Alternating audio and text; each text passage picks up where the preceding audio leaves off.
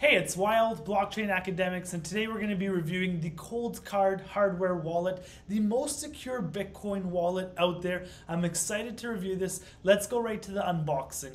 Make sure to like, comment, and subscribe. Make sure to hit that notification button so you don't miss out on any cryptocurrency news, opportunities, or giveaways. Let's get right into it. This is the Uncle Jim Coldcard bundle. It comes with two cold cards, two memory cards. It comes with a Cold Power, a seed plate, and a punch. You have the cord to connect your Coldcard wallet. And then I'm assuming this is the instructions that added the Opendime wallets. They're like plug and go wallets. Um, so we're going to test those out as well. This is the most secure Bitcoin wallet and it only holds Bitcoin, no other coins. So let's get right into opening it. You want to make sure that you save the packaging because the number on front of the package, you will uh, verify that this is the right device when you turn it on. So you want to make sure you save that. Let's see what we have. Um, in here you have the cold card device itself.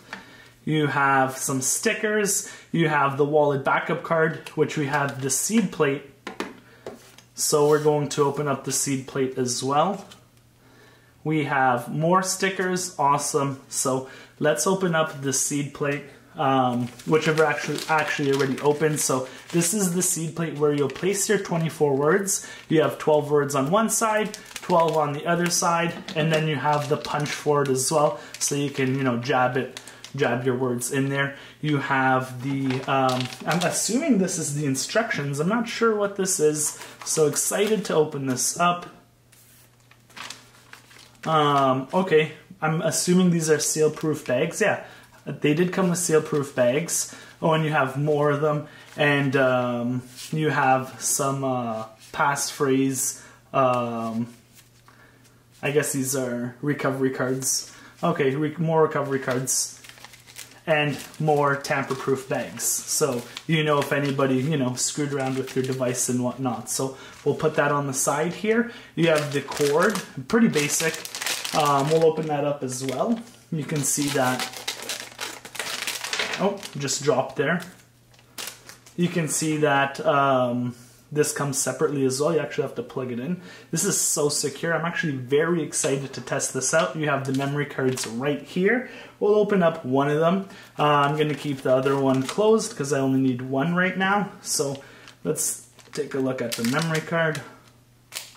If it wants to come out. Awesome. What's the 128 megabytes? Okay. I thought it'd be like a gig or so, but you don't need that much data for, you know, signing transactions or whatnot.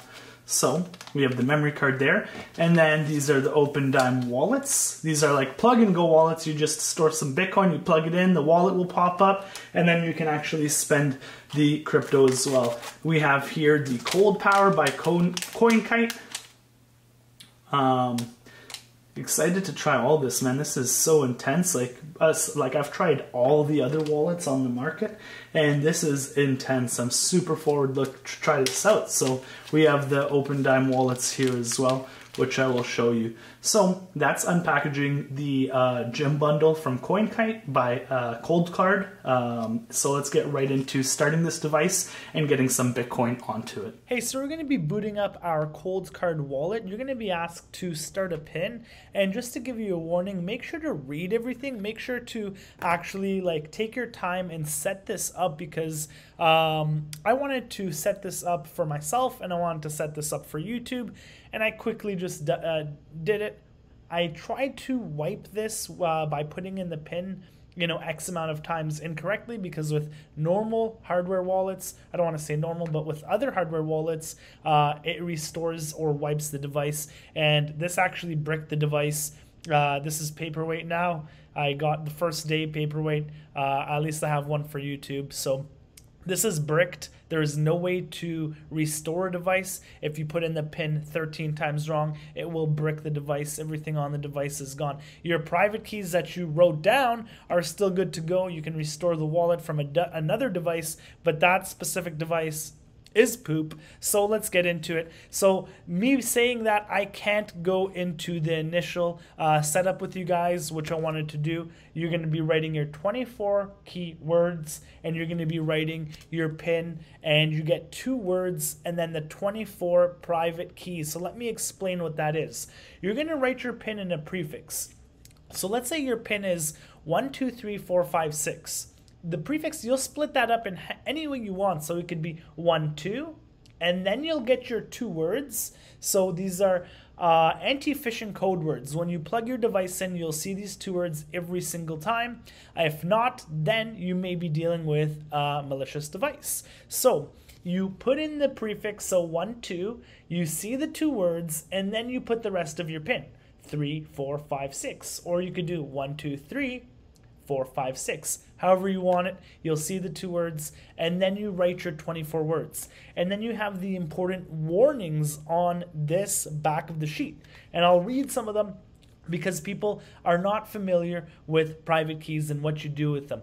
It is like giving somebody all your financial information and you're allowing somebody to kind of wipe you out clean. So you want to make sure that nobody knows your private keys, sees your private keys, or you put them online. You want to write them down or use a seed plate, and you can get one uh, right over here as well. There are so many features with the Coldcard wallet. I literally spent all day like setting it up, playing around with it, um, and all that great stuff. So let's get right into um, using the device. The device you can use by plugging it in as a normal hardware wallet and connecting to a few wallets like uh, Wasabi or uh, Electrum. The hardware wallet actually doesn't have a native um, you know a native user interface that you can just start using you can use it with other bitcoin wallets and there's uh, advanced features which we're going to go into we're going to go into one using the cold um, card wallet just on Electrum,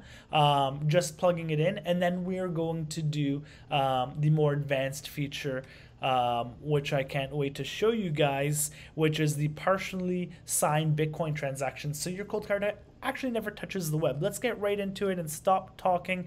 Um, you've written down your 24 words, you've made your PIN code, and now you're ready to start transacting, receiving, and sending with your cold card wallet. Let's jump right into it.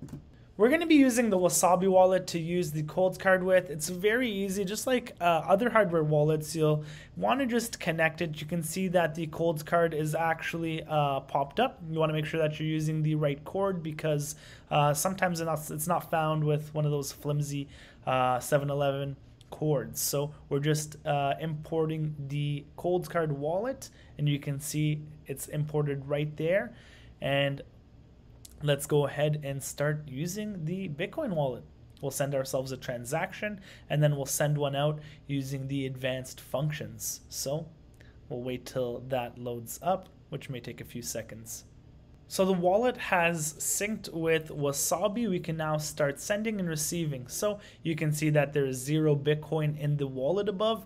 Um, you can go to send. We have zero Bitcoin, of course, and then we can go to receive. So we have to put in a label to receive. So we'll just put test We'll generate receive address. It'll automatically copy the address into your um, it'll copy it so you can paste it but let's copy the or show the QR code because I'm going to be scanning this from my phone just to send the practice transaction so we have some Bitcoin and then we can do the advanced functions so we'll go ahead I'm going to scan this using my Exodus app and send myself some Bitcoin. So let's go ahead scan. Let's send um, everything we have there we go. Send. And then whoop. Bitcoin should be here in a few seconds. I, okay, awesome. That was quick. So you can see the Bitcoin's here. We got the um, received right below. I'm covering that. Now we can go to sending um, the actual cryptocurrency, the actual Bitcoin. So take note if you haven't already that this cold card wallet only holds Bitcoin.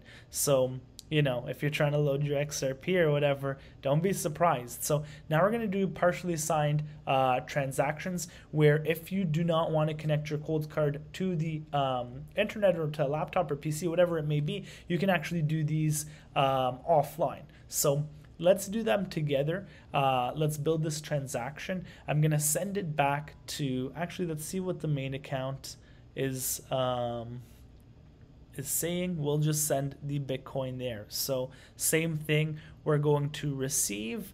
I'm going to do a test that is going to generate a receive address.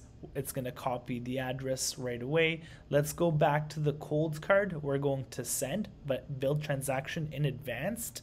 We're going to paste that just by clicking because I copied it. We're going to click test again. And then let's send the max transaction. Oh, we have to select the coins first. And what I love about this is you can see the fee. You can like move it. Uh, you can toggle it to whatever you want. Quick, uh, slow, cheap, fast uh, expensive, whatever you want. So we're going to click all the coins. We're going to send it to our main account right here. We're going to build this transaction. And now you have the transaction here. We're going to export the transaction. And this is where it goes to the memory card. So save as where let's save it to the the desktop we're going to save that. I'm going to put that on my memory card, and then we are going to uh, do the transaction through uh, the cold card. And that doesn't even need to be set up to your laptop either. So let's get the transaction partially signed and then get it back onto the laptop. I have my cold card plugged in and you can see uh, where it says ready to sign. I've uploaded the file onto the memory card and into the cold card. So I'm going to click ready to sign and you can see um, okay to send, I'm sending the 0.002379952 to the main account. So let's confirm that. And you can notice the green light. Uh, if it's a red light, that means you may need to upgrade your firmware and or it may be tampered with. So you want to make sure that your light is on uh, genuine instead of caution. So we've got the transaction uh, TXID, everything's good to go. So um, we are going to now get that off the memory card, open the transaction broadcaster, and then get that finished. Okay, now let's add the transaction, sign transaction to um, the transaction broadcaster. Let's import the transaction. We'll go to desktop, have a lot of file. Uh, have a lot of random files, so just bear with me. Let's upload that, broadcast the transaction, and then the transaction should clear and I should get that cryptocurrency. I should get that Bitcoin. So just bear with me a second. And honestly, this blew awesome. You can see right there that I got the cryptocurrency, uh, the Bitcoin. I don't know why I keep saying cryptocurrency, but I got the Bitcoin. Um, so this is honestly the coolest feature I've seen with hardware wallets. The cold card just blows my mind like all around. You you there's so many features. I'm going to definitely have to do a follow up on the cold card uh, with the extra features from passphrases to the duress pin and all that great stuff. This was just a quick tutorial on how to get started and how to use it because honestly the the tutorials on youtube are like 30 40 50 minute long. Uh, so i just needed to put something out there that people can start you know following right away. There's there's great ones out there too. So uh, make sure to subscribe like comment. We have a ton of videos coming out a ton of events we're going to and giveaways that are upcoming so you don't want to miss out on anything